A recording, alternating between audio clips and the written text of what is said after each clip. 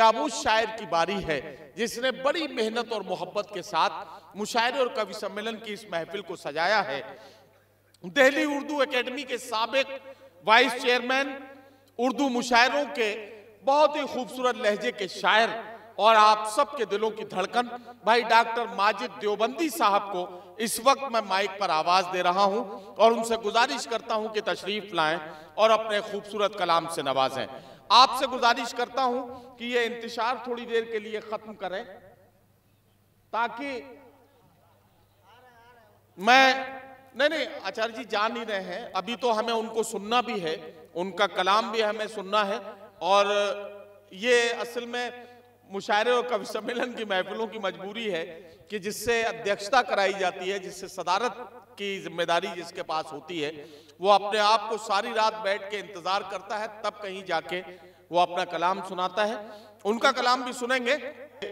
आज के मुशायरे और कवि सम्मेलन में इस्माइल मैन के तौर पर भाई सर्वेश अस्थाना जी हमारे बीच मौजूद हैं। लखनऊ से आपका ताल्लुक है।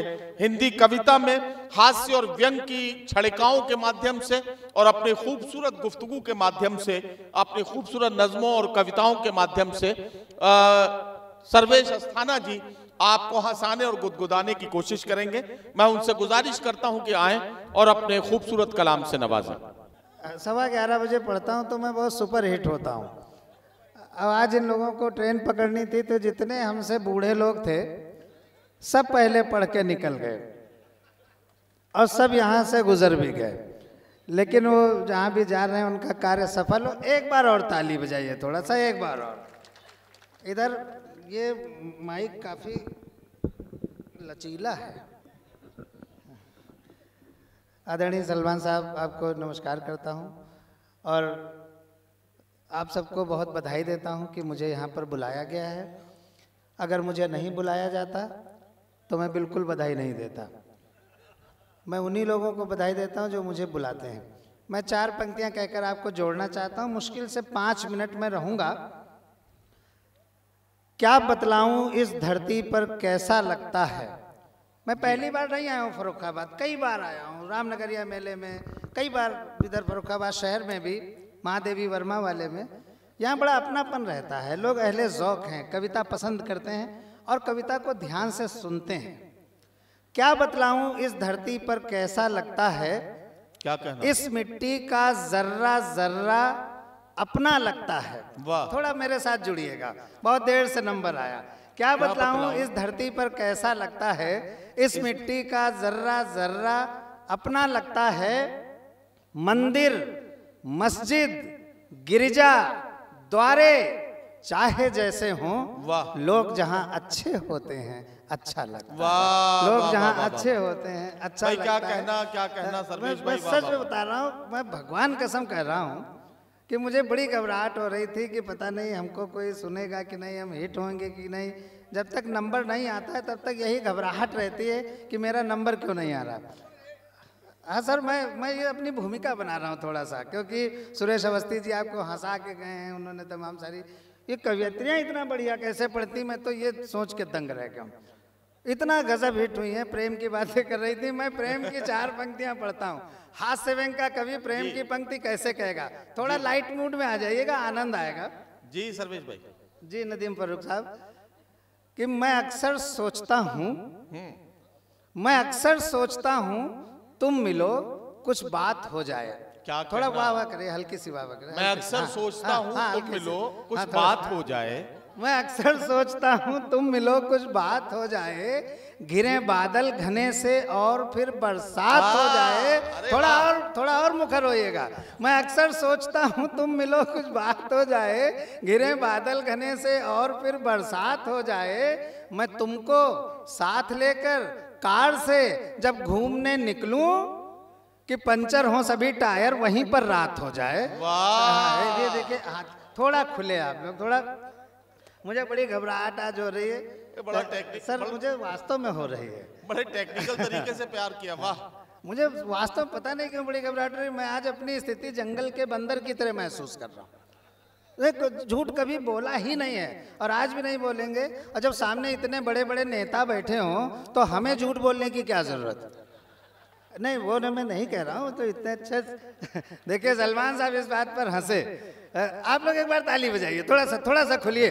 क्या होता है कि जो मस्ती होती है ना, वो आधी रात के पहले ही ज़्यादा आनंद देती है। जो आनंद है ना जो हास्य है, वो रात्र के प्रथम प्रहर का होता है। जो जो रात बड़ी होती जाती है, कविता गंभीर होनी चाहिए, कवि सम्मेलन और मुशायरा बहुत ऊँचा होना चाहिए। मैं आज अपनी स्थिति जंगल के बंदर की तरह महसूस कर रहा हूँ। क्या था? शेर जंगल का राजा था। जितने लोग हमारी तरफ़ देख रहे हैं, यूथ जो है, बस वही हमें थोड़ा सा देख ले। क्या था? शेर जंगल का राजा था।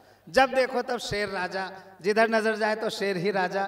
जंगल वाले ऊब गए बोले यार एक ही शासन है एक ही सत्ता है मोनोटोनी हो गई ये बदलाव करो। बोलो क्या बदलाव करें? बोले राजा बदलो किसको राजा बनाया जाए? बोले जो खूब एक्टिव हो उसको राजा बनाया जाए। तो बंदर को जंगल का राजा बना दिया गया। जैसे हमारे नदीम भाई को संचालक बना दिया गया। अरे सही है। तो तो भाषा है। तो बंदर जंगल के राजमहल में रहने लगा।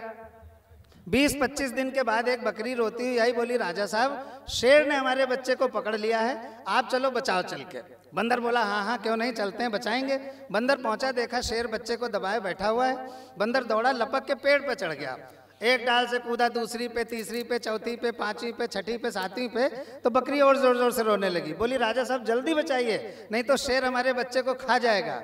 अब बंदर ने जो जवाब दिया उस पर अगर आपको आज की पॉलिटिक्स दिखाई पड़ जाए तो पूरी तालियाँ जितने कम लोग बचे उतने लोग बजा देंगे। उसने कहा जल्दी बचाइए नहीं तो शेर बच्चे को खा जाएगा। बंदर बोला देखो बकरी तुम्हारा बच्चा बचे या न बचे हमारी भागदौड़ में कोई कमी हो तो बताओ।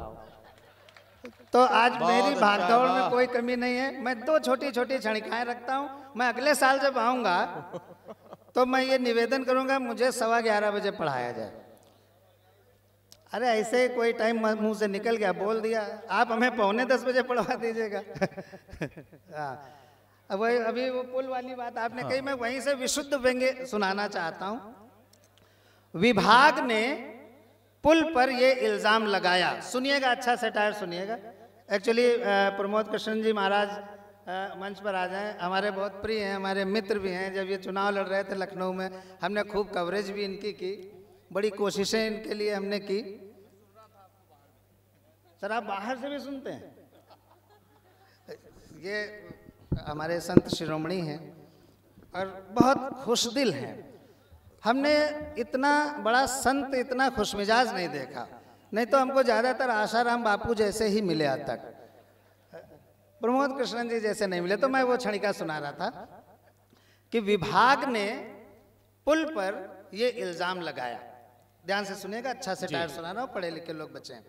विभाग विभाग ने पुल पर यह इल्ज़ाम लगाया कि सारा सीमेंट और लोहा इसी पुल ने खाया। क्या कहना?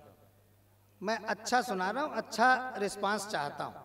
विभाग ने पुल पर यह इल्ज़ाम लगाया कि सारा सीमेंट और लोहा इसी पुल ने खाया पुल बहुत गिड़गिड़ाया अपने आप को निर्दोष बताया कि हुजूर सारा सीमेंट और लोहा मैंने नहीं पाया मेरे हिस्से तो बहुत जरा सा आया वाह वाह वाह। सारा सीमेंट और लोहा आप लोगों तक पहुँच रहा है मैं समझता हूँ पहुंचेगा। सारा सीमेंट और लोहा मैंने नहीं पाया मेरे हिस्से तो बहुत ज़रा सा आया लेकिन उसकी एक नहीं सुनी गई। उसकी हर दलील हर याचना जाँच कमीशन के सामने धुनी गई।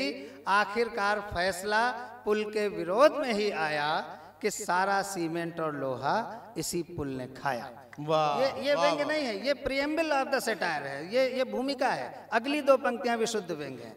आखिरकार फैसला पुल के विरोध में ही आया कि सारा सीमेंट और लोहा इसी पुल ने खाया। पुल अपने ऊपर लगाए गए इस झूठे इल्ज़ाम को। आप लोग समझ रहे हो तो हाथ तैयार कीजिएगा। पुल अपने ऊपर लगाए गए इस झूठे इल्ज़ाम को किसी तरह सहन कर गया और अगले दिन ही नदी में कूद कर मर गया। अगले दिन ही नदी में कूद कर मर गया। ये ये बहुत की अच्छा, ये वाह, की भाषा होती है ये व्यंग की भाषा होती है। एक क्षणिका और पढ़कर मैं अपना स्थान लेता हूँ। हम अपने अब इसमें आप लोग जरा जरा मेरी तरफ़ हो जाइएगा क्योंकि मैं अंतिम छोटी सी कविता पढ़ रहा हूँ। और इससे अच्छा व्यंग्य मैं पॉलिटिक्स पर नहीं लिख पाया हूँ और विशुद्ध ढंग से अच्छे ढंग से अगर की जाए बात तो अच्छा मज़ा भी देती आनंद भी देती है सुई की तरह पिन की तरह चुभती है लेकिन गुदगुदी वाला आनंद देती है। लखनऊ में एक विधानसभा मार्ग है। विधानसभा मार्ग उस सड़क को कहते हैं जिस पर विधानसभा बनी होती है। बस आप लोग 30 सेकंड मेरे साथ जुड़े रहिएगा मैं अपना कार्यपाठ समाप्त कर दूँगा। विधानसभा मार्ग विधानसभा मार्ग उस सड़क को कहते हैं जिस पर विधानसभा बनी होती है। जिस सड़क पर विधानसभा नहीं होती, उसको महात्मा गांधी मार्ग कहते हैं। वाह वाह वाह वाह वाह वाह। वहाँ पर बहुत सारे लोगों से मुलाकात हो जाती है। कभी सलमान खुर्शीद सर जैसा एक पढ़ा लिखा और अच्छा ओरेटर और और वास्तव में मूल्यों की बात करने वाला नेता मिल जाता है। तो कभी नदीम फर्रुख जैसा एक शायर मिल जाता है। कभी माजिद देवबंदी जी जैसा व्यक्ति मिल जाता है। कभी हमारे सरदार चरण सिंह बशर जी जैसा पुलिस का बड़ा अफसर मिलता है, जिसके भीतर शायर बैठा होता है। जब पिछला इलेक्शन आया, सलमान सर, मैं आपका ध्यान इस क्षणिका में ज़रूर चाहता हूँ। मैं जानता हूँ कि समय खत्म हो चुका है। एक जब इलेक्शन आ रहा था तो मुझे विधानसभा मार्ग पर एक गिरगिट मिला। अच्छा। मैंने उस गिरगिट से छोटी सी बात की और बस मेरा आज का काव्यपाठ समाप्त होता है फिर कभी आएँगे। जी जी। लखनऊ के विधानसभा मार्ग पर इधर से उधर और उधर से इधर और फिर इधर से उधर जा रहे गिरगिट नरेश से हमने पूछा। हाँ हाँ अब आप नरेश माने राजा होता है मेरा और इशारा कहीं नहीं है। नहीं नहीं. नहीं नहीं भगवान का संग थोड़ी सी ताली बजाइए थोड़ी सी ताली बजाइए थोड़ी सी ताली बजाइए लखनऊ के देखिए ये क्या होता है जब कोई हंस एक कमी इस डैश पर ये है कि मॉनिटर नहीं है तो हमें अपनी उल्टी आवाज़ सुनाई पड़ रही है तो हम कम्युनिकेट करने में थोड़ी दिक्कत महसूस कर रहे हैं लेकिन जब आप व्यंग्य से जुड़ते हैं तो थोड़ा सा अगर मन लगा देंगे, मस्तिष्क लगा देंगे तो बहुत आनंद आता है। फिर से सुनिए, लखनऊ के विधानसभा मार्ग पर इधर से उधर उधर से इधर, ये मैंने उस दिन क्षणिका लिखी थी, जिस दिन प्रदेश में एक ही दिन में दो मुख्यमंत्री बने थे। इधर से उधर, अब सलमान सर समझ गए होंगे। इधर से उधर और उधर से इधर और फिर इधर से उधर जा रहे गिरगिट नरेश से हमने पूछा, गिरगिट जी, बता सकते हैं? अपने और मौका परस्त नेता में आपसी संबंध को तुलनात्मक रूप से समझा सकते हैं। तुलनात्मक यानी comparative study between the two अपने और मौका परस्त नेता के बीच आपसी संबंध को तुलनात्मक रूप से समझा सकते हैं। गिरगिट बोला, अस्थाना जी, किसी गिरगिट की नेता से तुलना करना। अस्थाना जी, किसी गिरगिट की मौका परस्त नेता से तुलना करना महापाप है। क्योंकि रंग बदलने के मामले में वो तो गिरगिट का बाप है। रंग बदलने के मामले में बहुत बहुत धन्यवाद। बहुत आभार आपका।